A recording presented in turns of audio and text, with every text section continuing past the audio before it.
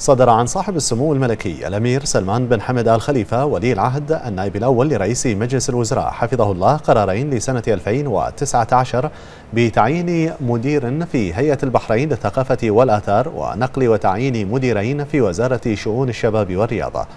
ونص القرار رقم 24 لسنة 2019 بتعيين مدير في هيئة البحرين للثقافة والآثار. جاء فيه المادة الأولى.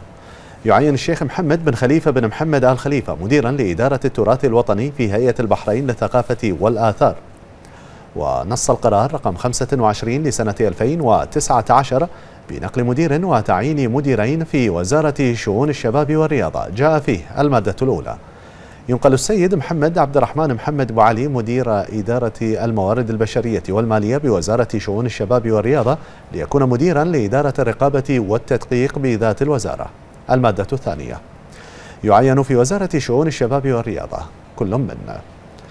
السيد نوار عبد الله يوسف المطوع مديرا لإدارة الاتصال والتسويق. السيد طارق حسن يوسف العربي مديرا لإدارة الاستثمارات.